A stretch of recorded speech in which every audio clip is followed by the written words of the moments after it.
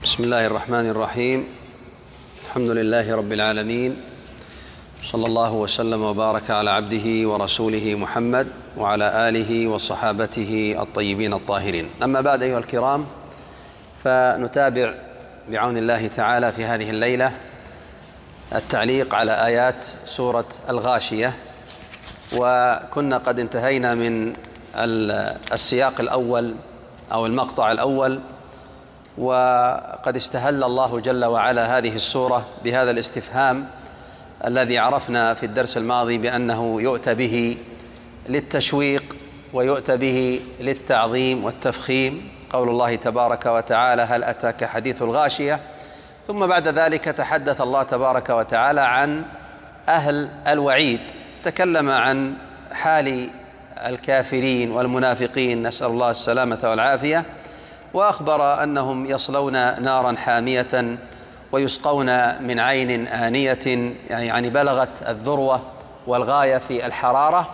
وكذلك يطعمون الضريع وهو الطعام الشوكي الذي لا يطاق نكالا وعذابا لهم ولا يسمن ولا يغني من جوع. ثم بعد ذلك انتقل السياق على طريقة القرآن في الجمع بين الوعد والوعيد. وعرفنا أن الوعد يكون بالخير والوعيد يكون بالشر. والقرآن غالبا يبدأ بالوعيد ثم يأتي بعد ذلك بالوعد. ولذلك الآن نجد في الشق الآخر أو في السياق الآخر من هذه السورة يقول الله تبارك وتعالى ووجوه يومئذ ناعمة لسعيها راضية في جنة عالية لا تسمع فيها لاغية فيها عين جارية فيها سرر مرفوعة وأكواب موضوعة ونمارق مصفوفة وزرابي مبثوثة. وقد ذكرنا في الأسبوع الماضي أيضا بأن التعرف على معاني سورة الغاشية وكذلك سورة الأعلى سبح اسم ربك الأعلى هذا من الأهمية بمكان ولأن هذه السور من السور التي يكثر تكرارها فهي تتكرر في كل جمعة تقريبا نسمعها وتتكرر كذلك في الأعياد. فلذلك ينبغي المسلم أن يعني يحرص على فهم الآيات التي يعني تطرق سمعه كثيرا. فقول الله تبارك وتعالى هنا في بداية هذا السياق وجوه يومئذ ناعمة. هذا إخبار من الله تبارك وتعالى عن حال أهل السعادة. وعن حال أهل الفوز والنجاة. قال وجوه يومئذ ناعمة وهي وجوه المؤمنين حينما تكلم الله تبارك وتعالى عن وجوه وعن حال الكافرين انتقل للحديث عن حال المؤمنين. قال وجوه يومئذ ناعمة لأنها رأت البشرى والسعادة والمؤمن كما هو معلوم يبشر بالجنة منذ لحظات النزع منذ أن تبدأ سكرات الموت المؤمن يرى ملائكة الرحمة يرى الملائكة البيض ويرى الملائكة التي تبشره برضوان الله تبارك وتعالى وبالجنة فيحب لقاء الله. ولذلك لما قال النبي الكريم صلى الله عليه وسلم في الحديث الصحيح قال من أحب لقاء الله أحب الله لقاءه. فاستغربت أم المؤمنين عائشة رضي الله عنها هذا الحديث فقالت يا رسول الله أهو الموت؟ يعني هل المقصود بلقاء الله الموت؟ فكلنا يكره الموت يعني كراهية الموت. هذه فطرة وجبلة مركوزة في في, في النفوس. الجميع يعني ما في أحد يعني يحب الموت بطبيعته.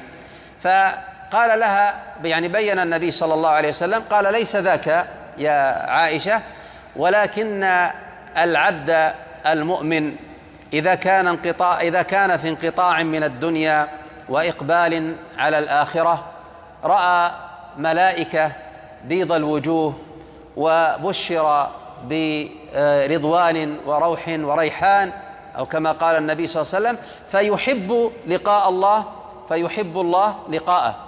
وإن الرجل أو العبد الفاجر أو قال المنافق إذا كان في انقطاع من الدنيا وإقبال على الآخرة إلى أن انقطع من الدنيا وأقبل آخرة فهمت؟ يعني انتهت الدنيا وبدت الآخرة في كلا الصورتين إذا كان العبد في انقطاع عن الدنيا وإقبال على الآخرة فإنه يرى ملائكة سود الوجوه ويبشر بسخط وعذاب ونكال فيبغض لقاء الله فيبغض الله لقاءه. فإذا الله عز وجل قال وجوه يومئذ ناعمة ولاحظ أن عبر بالوجوه لأن الوجه يظهر عليه أثر النعيم كما يظهر على الوجه أثر البؤس والشقاء.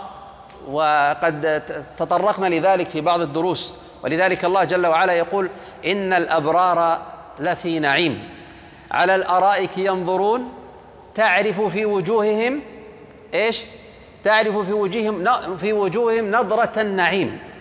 الإنسان المنعم المرفه يظهر ذلك في وجهه.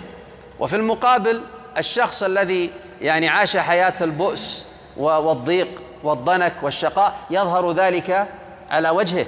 فهؤلاء وجوههم ناعمة لما رأوا من النعيم والنعيم يعني نعيم المؤمن يبدأ منذ أن يوضع في قبره فإنه يفتح له آه، نافذة إلى الجنة ويأتيه من طيبها ومن آه، نعيمها ويتلذذ برؤية مكانه في الجنة حتى تقوم الساعة. ولذلك آه، جاء في الحديث أن العبد المؤمن إذا رأى مقعده من الجنة وهو في قبره يقول ربي أقم الساعة. ربي أقم الساعة. يشتاق إلى أن يذهب إلى بيته وأن يذهب إلى إلى منزله في الجنة وإلى ما أعده الله له من النعيم. وفي المقابل الكافر والمنافق نسأل الله السلامة والعافية يقول رب يقول ربي لا تقم الساعة. إذا رأى إذا رأى النكال وإذا رأى يعني ما أعده الله له من العذاب. فإذا وجوه يومئذ ناعمة أي هذه الوجوه الوجوه وضيئة مبتهجة متنعمة في في الجنة. آه قال بعد ذلك لسعيها راضية راضي لسعيها راضية. والسعي هو العمل. يعني أن هذه لما كافأها الله عز وجل بهذا النعيم فهي راضية عما قدمت وراضية عن العمل. الذي أوصلها لهذا الثواب ولهذا الأجر. فإذا لسعيها راضية يعني أنها راضية بعملها الذي بلغها هذا الثواب وبلغها هذا الأجر. وقوله لاحظ أن الله عز وجل عبر بالسعي. ما الفرق بين السعي والمشي؟ في فرق بين السعي والمشي؟ أيوة السعي فيه فيه إسراع وفيه مبادرة. ولذلك فهم بعض العلماء من هذه الآية أن الإنسان مطالب بأن يسارع إلى الخيرات. ولذلك الله عز وجل يقول في موضع آخر فاستبقوا فاستبقوا الخيرات صح؟ الإنسان ويقول وسارعوا إلى مغفرة من ربكم. الإنسان المؤمن صاحب القلب الحي يبادر إلى العمل الصالح.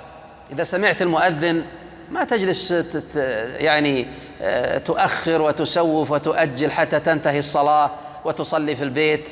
لا إذا إذا سمعت الأذان وعرفت أن الوقت دخل تبادر تسارع تستعد للصلاة. كما أنك تستعد لشؤونك الدنيوية ومواعيدك الدنيوية. لو كان عندك موعد في في آه، طيران ولا كان عندك موعد في يعني مستشفى ولا عندك موعد في أي مكان آخر تجد أنك تضع المنبهات وتستعد قبل الموعد بساعة ساعتين. بادر إلى إلى إلى إلى الأعمال الصالحة. لسعيها راضية. تسعى للعمل الذي آه، يوصلك إلى رضوان الله عز وجل ويوصلك إلى أن ترضى عما قدمت في هذه الدنيا. حتى لا تندم على ما فرطت وعلى ما فاتك في هذه الدنيا. ثم قال بعد ذلك في جنة عالية في جنة عالية. الجنة هي المكان الذي أعده الله لكرامة المؤمنين والجنة هي جنان ومراتب. حتى قال بعض آه، العلماء وبعض المفسرين قالوا إن مراتب الجنة على عدد آيات القرآن. وقالوا ولذلك يقال لقارئ القرآن يوم القيامة اقرأ وارتق فإن منزلتك عند آخر آية كنت تتلوها أو ترددها في الدنيا. فدرجات الجنة الجنة درجات. ولما جاءت آه، أم حارثة آه، كما ذكرنا لكم في مجالس سابقة جاءت إلى النبي صلى الله عليه وسلم وقد كانت يعني آه، أما محبة بشدة ومتعلقة بحارثة. فلما قتل في إحدى المعارك معركة بدر أو أحد حزنت عليه ووجدت عليه وجدا شديدا. فجاءت إلى النبي صلى الله عليه وسلم قالت يا رسول الله أحارثة في الجنة؟ فأصبر واحتسب. أم أنه غير ذلك؟ فترى مني يعني يعني من الجزع ومن الحزن عليه. فقال لها النبي صلى الله عليه وسلم أهبلت يا أم حارثة؟ يعني أنت آه، هل هل أصابك الجنون أو ضعف العقل؟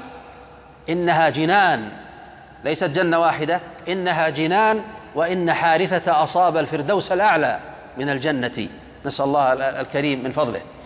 فإذا هي جنان وليست جنة واحدة في جنة عالية وهذه الجنان من صفاتها العلو والرفعة كما أن النار من صفاتها السفول والهبوط في أسفل أسفلين فالجنة عالية.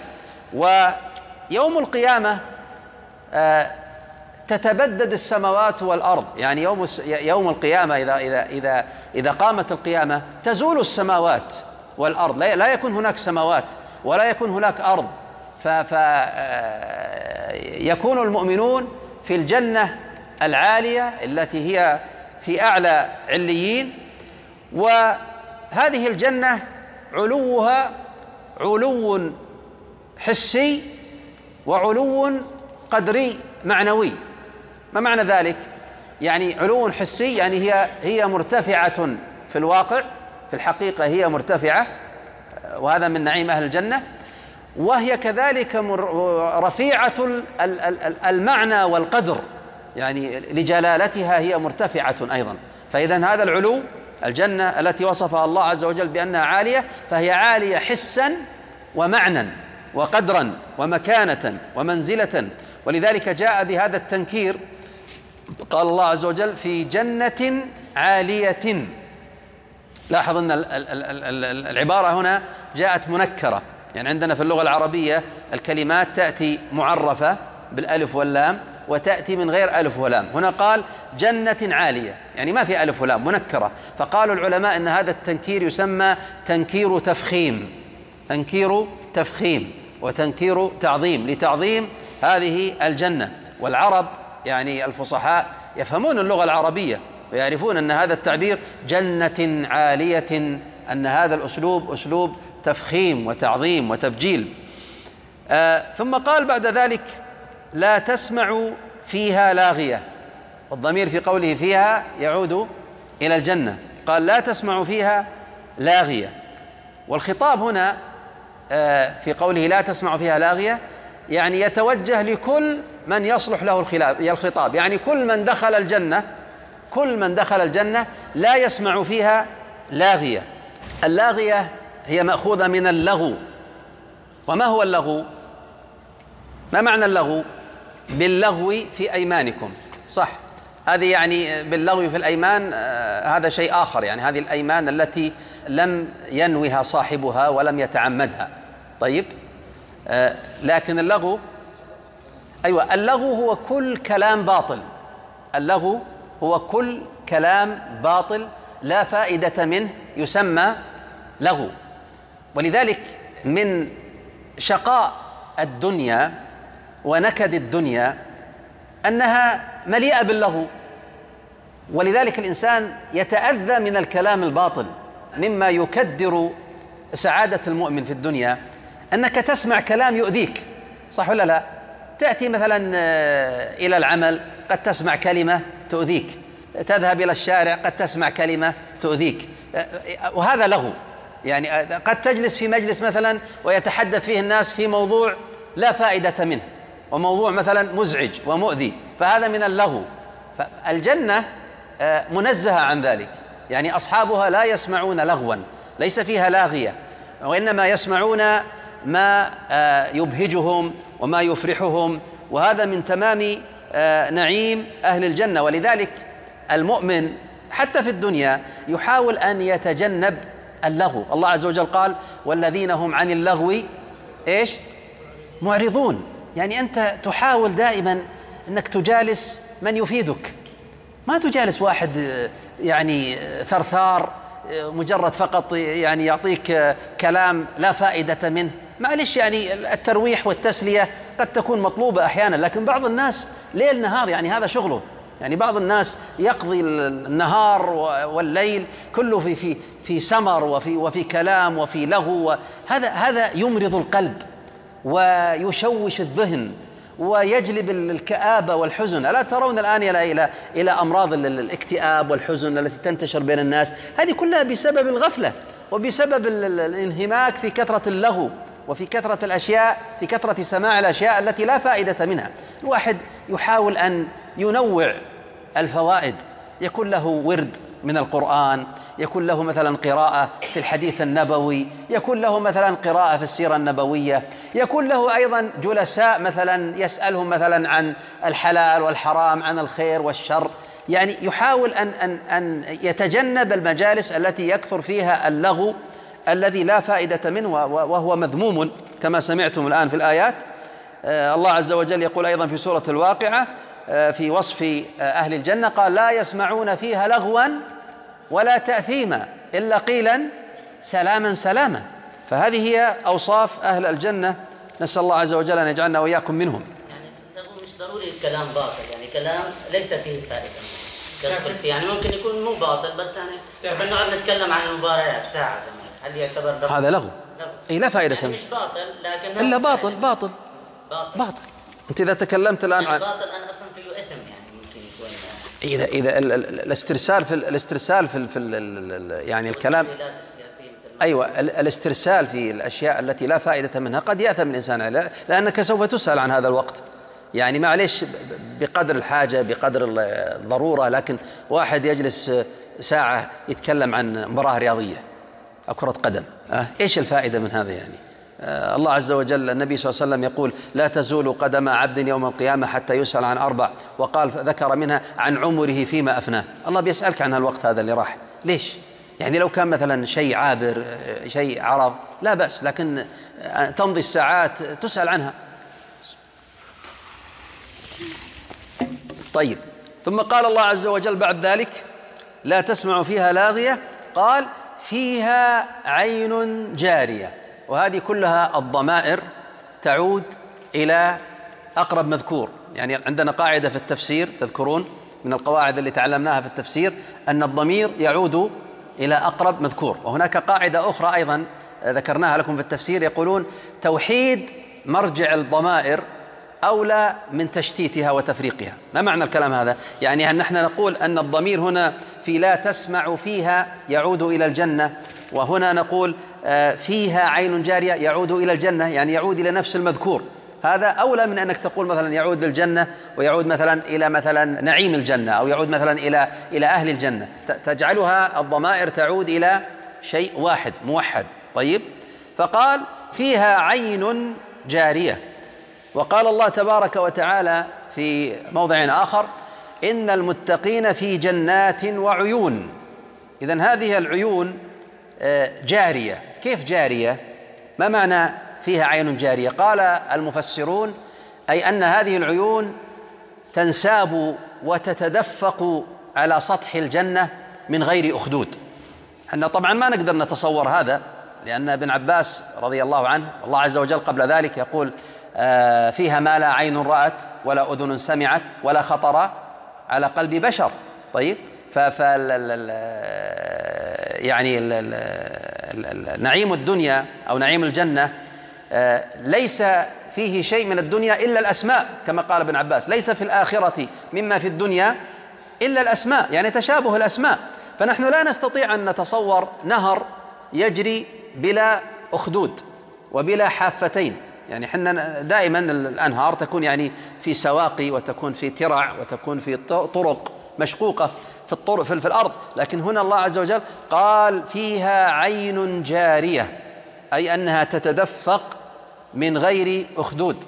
ولذلك يقول الإمام ابن القيم في نونيته الجميلة أنهارها في غير أخدود جرت. أنهارها في غير أخدود جرت. سبحان ممسكها عن الفيضان. هذه هذه نونية ابن القيم. لو تسمعونها بإنشاد بعد القحطاني أو غيره في, في من ينشدها.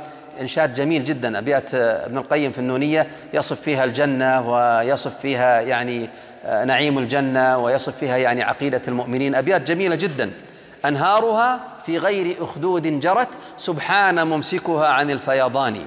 فإذا هذه آه، الأنهار نعيم الجنة لا يحتاج إلى أخاديد ولا يحتاج إلى ترع تسير آه، فيها هذه الأنهار. ثم قال تبارك وتعالى بعد ذلك آه، أو قبل ذلك الجنة فيها أنهار كم عدد أنهار الجنة؟ صح؟ كم عدد أنهار الجنة؟ أربعة صح وشهم؟ أيوة سورة محمد هذه ولا سورة اللهم صل على محمد آه مثل الجنة التي وعد وعد المتقون؟ فيها أنهار. خمر؟ لحظة قبل خمر اصبر شوي.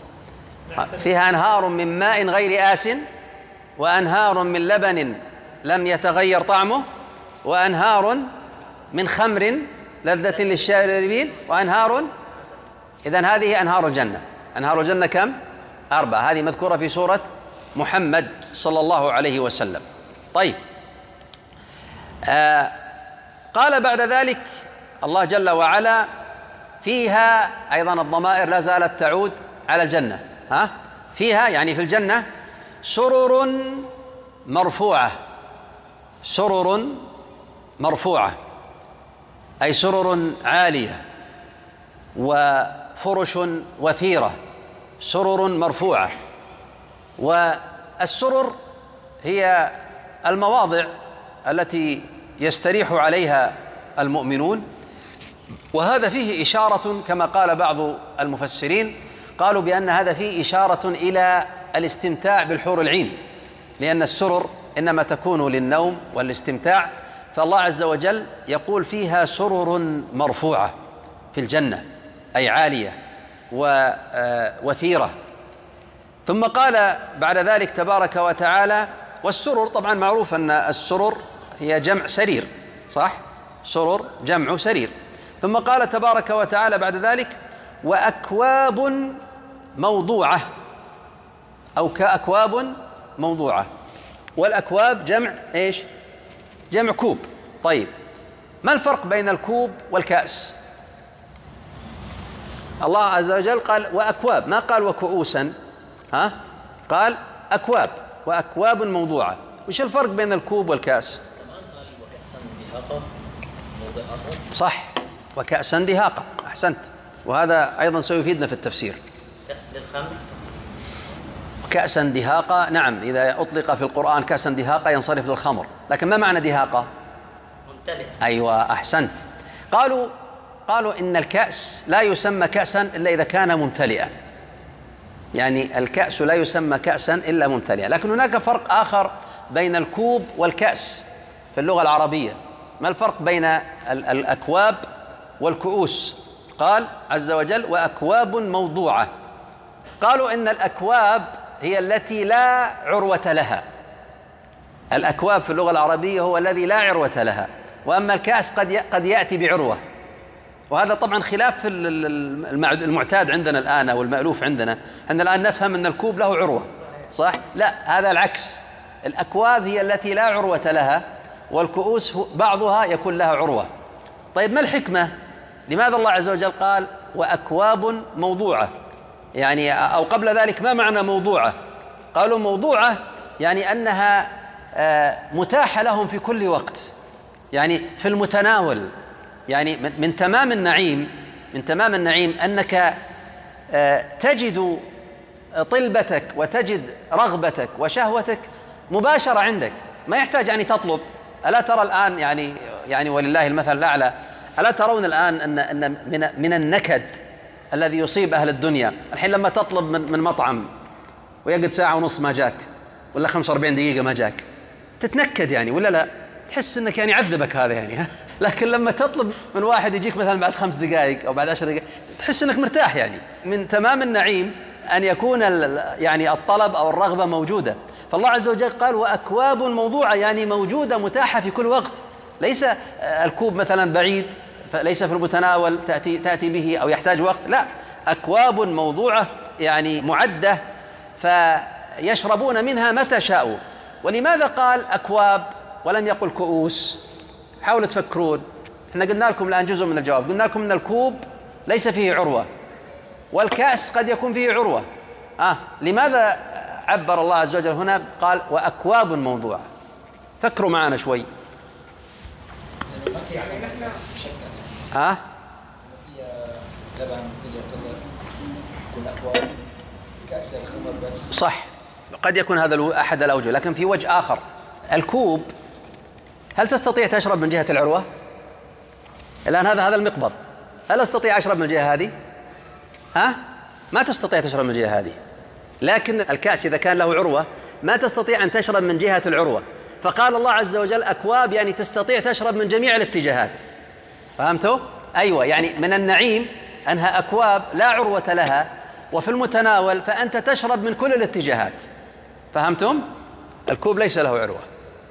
الكوب ليس له عروة والكأس هو الذي قد يكون له عروة. أي هكذا في اللغة العربية.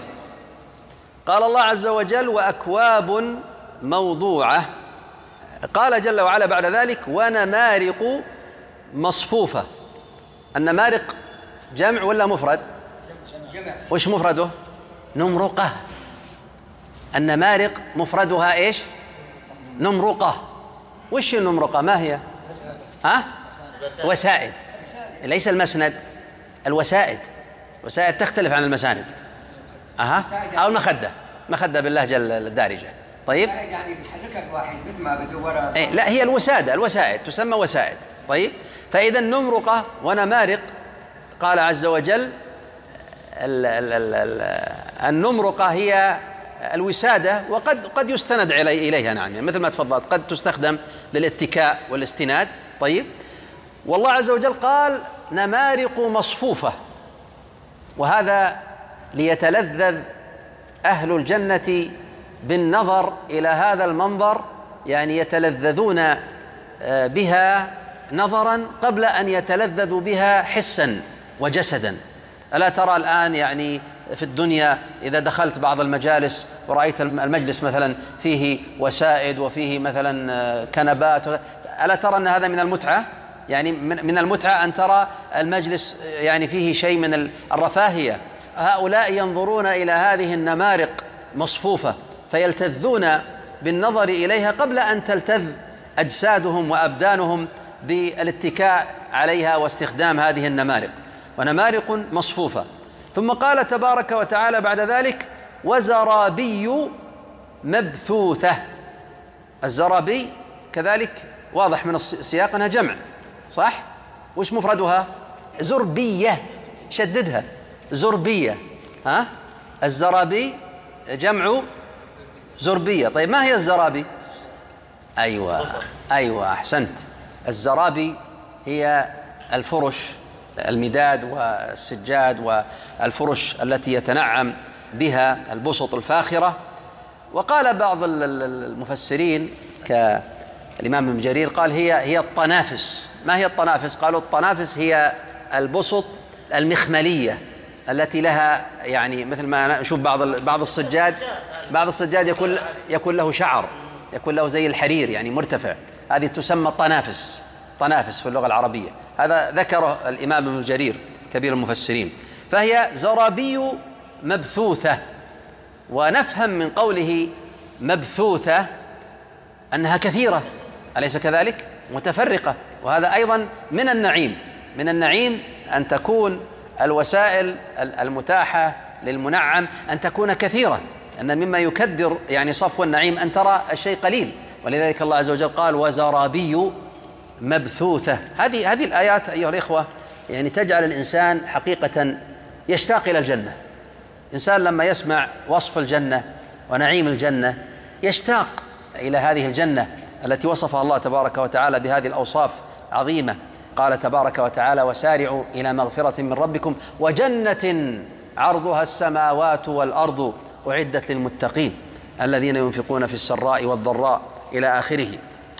فاذا هذه الآيات أيها الكرام التي معنا في هذه الليلة آه، تحدثت عن الشق الآخر وهم أهل الجنة تحدثت عن نعيم أهل الجنة وتحدثت عما أعده الله تبارك وتعالى لأهل الجنة ونخرج بها آه، أو نخرج من هذه الآيات بالفوائد التالية أن وجوه المؤمنين تكون منعمة في الآخرة وأن آه، النعيم والبشر والفرح يظهر على الوجوه كما أن البؤس والخوف والحزن يظهر كذلك على وجوه الكافرين والمنافقين.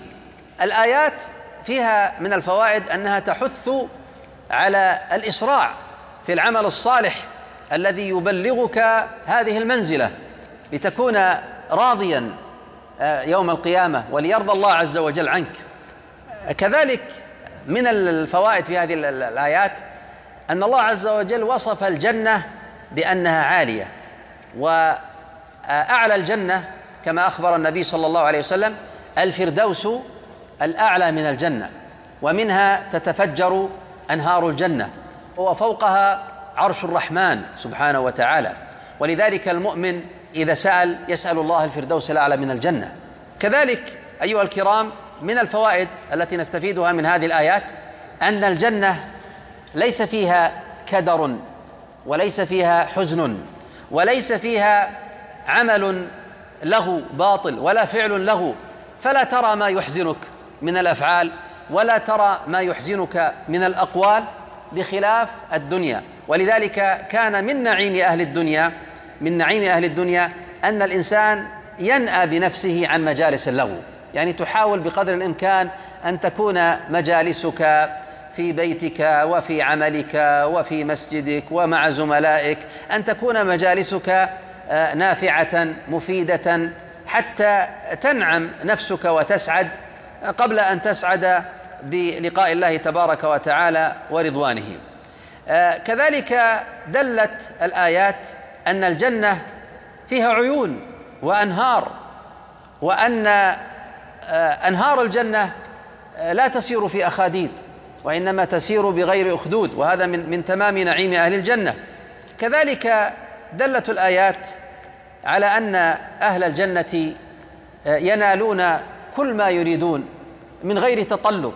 الله عز وجل قال وأكواب موضوعة. يعني هذا النعيم في المتناول وهذا بخلاف آه، يعني آه، نعيم أهل الدنيا حتى وإن يعني تمكنوا من التحصيل و يعني من كان مقتدرا في الدنيا ويريد أن ينعم نفسه يبقى هذا النعيم مكدر ويبقى هذا النعيم منغص من جهة آه، وصوله إليه ومن جهة تلذذه به ومن جهات كثيرة لا مقارنة بين نعيم الجنة ونعيم آه، الآخرة.